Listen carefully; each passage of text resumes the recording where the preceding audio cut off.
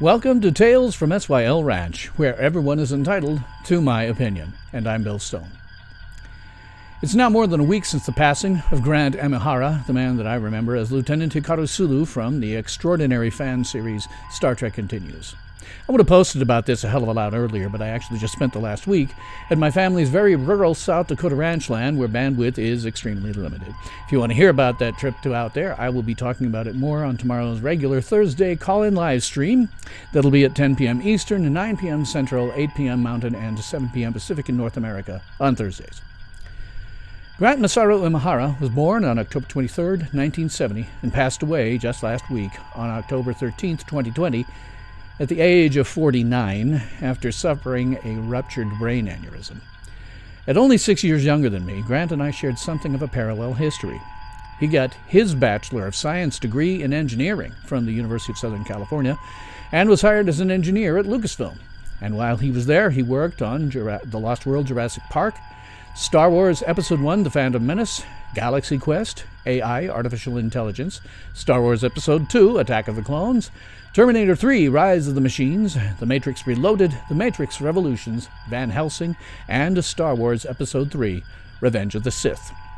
Grant was probably best known to most people for his work as a host on the television series Mythbusters, on which he designed and built numerous robots and specialized in operating computers and electronics to test myths. However, to myself and many Star Trek fans, Grant is better known for having played Lieutenant U- Hikaru Sulu on Star Trek Continues. Now, if you've never seen Star Trek Continues, go and watch it right now. There's a link to a playlist that I maintain that's in chronological order that's in my description box. Watch Star Trek Continues. Your heart and your mind will love you for the rest of your life. Now, I didn't know Grant. I never met him. I didn't know him as a person, only as a TV host and an actor, so it's impossible for me to talk about him personally. However, as with all the cast of Star Trek Continues, Grant touched my heart in a way that I'll never be able to repay. Grant was an integral part of giving me Star Trek Continues, my Star Trek, one last time. To my mind, there are several actors who played Sulu on Star Trek. The most well known, of course, is George Takei, who originated the role in 1966. However, in many ways, Grant can be said to have played Sulu with greater depth. You see, contrary to popular belief, Star Trek, the original series, was not an ensemble show, and it was never intended to be one. It was about Kirk, Spock, and McCoy. There was an occasional story that featured Scotty, and only one story, really, that featured Sulu, Uhura, and Chekov. In all reality, the supporting cast was there for three reasons. The first was an important one to make a statement about race and national relations of the 23rd century.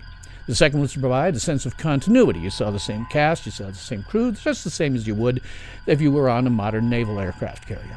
And finally, and most importantly, frankly, to feed exposition to the lead characters. Now, aside from these purposes, their lines really could have been said by almost anyone, and sometimes were. But Star Trek Continues was different. While certainly it still focused on Kirk and Spock, to a lesser extent McCoy, the showrunner, Vic Mignogna, made the choice to give the supporting cast far more to do than the original series cast had to do. And because of this, Grant had the opportunity to bring more of his talents to the character than George Takei had. And as Sulu, Grant was frankly delightful. You could tell that he was having the time of his life, and hell, why wouldn't he? To be honest, I am insanely jealous of Grant. Uh, to be trained as an engineer, work at Lucasfilm on Star Wars projects, host a science show, and then play a character in Star Trek series? Hell, I'd have killed half the population of Hollywood just to get a role on Star Trek Continues. But it's no exaggeration to say that Star Trek Continues was one of the great gifts of my adult life. It's no secret that I believe modern Star Trek to be a horrific, nightmarish mirror image of the optimistic series that Gene Roddenberry created. But not Star Trek Continues. Everyone involved with that series knew what really makes Star Trek special, even when it's portraying the darker side of the human soul. And Grant was an integral part of Star Trek Continues, and an integral part of bringing more than 11 hours of pure joy to my life that I can watch and binge over and over and over and never get tired of. And that's how Grant really touched me personally, by bringing his joy and playfulness to the role of Sulu, being a professional at his craft, and giving me my Lieutenant Sulu one last time. So may the wind be ever at your back, Grant, and thank you for the joy that you brought to my life.